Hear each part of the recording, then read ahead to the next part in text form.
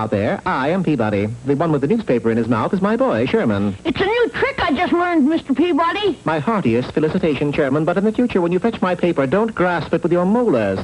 You've perforated the stock market quotations. Shall I run out and get another one? You won't have time. You see, we are overdue at Aachen, Germany. Who are we going to visit? The man who founded the first news agency, Paul Julius Reuter. After setting the time indicator for the year 1849, we entered the Wayback Machine, patent pending, and were immediately ushered to a small hamlet in western Germany. This was Aachen. And look, there's Mr. Reuter's news agency. Suddenly, from an upstairs window, a paper airplane sailed out and fluttered its way down to our feet. Gee, what a keen airplane. Yes, but a miserable news dispatch. I flattened the paper out, and there was a United Press story about a man biting a dog.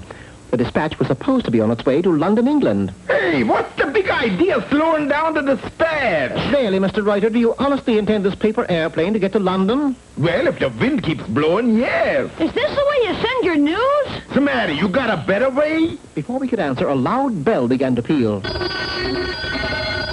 And the good citizens of Aachen started running to the other end of town. Quick, grab a bucket and come. What is it, a cow milking contest? Worse than that, it's a fire. Sure enough, we arrived just in time to watch a two-story building go up in smoke. Why doesn't someone call the fire department? That is the fire department. There was nothing left to do but to toast marshmallows.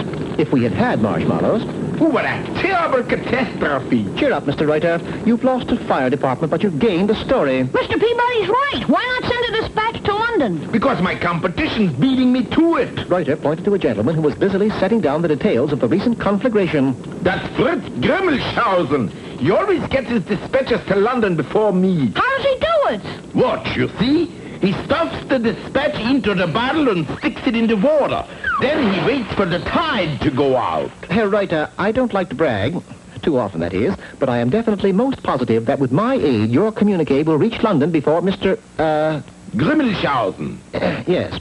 The tide was already going out, so we had no time to lose. Seconds later, we were inside Reuters news agency. There, it's all set to go. Stand back. We watched in horror as Reuter deftly fashioned another paper airplane and let it fly. This one got as far as the window, then nosedived to the floor. Oh, conditions are no good for flying. I'm afraid it's hopeless. Herr Reuter, air mailing your dispatches is the right idea. It's the manner in which you do it that's wrong. What's the matter? You think I should put a pilot in the plane? No, no, no. You need a different type of aircraft. I led the way to the roof, and there, perched on a shingle, was a pigeon. It was a simple matter to tie the dispatch to his leg. Okay, pigeon, fly to London. He's off! Congratulations, Mr. Reuter. You'll beat Mr. Grimmelshausen for sure. Sherman was a trifle premature, for the aforementioned Mr. Grimmelshausen had spotted the pigeon and quickly mounting a horse took chase. In one hand, a pigeon gun. Ooh, that stinker's gonna shoot down my dispatch. Oh, no, he's not. He hailed a taxi and gave chase. He hasn't fired a shot. What's he waiting for, Mr. Peabody? He's waiting for the bird to come down and rest. But in the meantime, there's work to do. Quickly, take this piece of paper and make an airplane. Even as I spoke, our feathered friend glided into view and came to a halt on the left shoulder of the town statue. He looks bushed. Never fear, he'll regain his strength in a moment. Oh, but it'll be too late.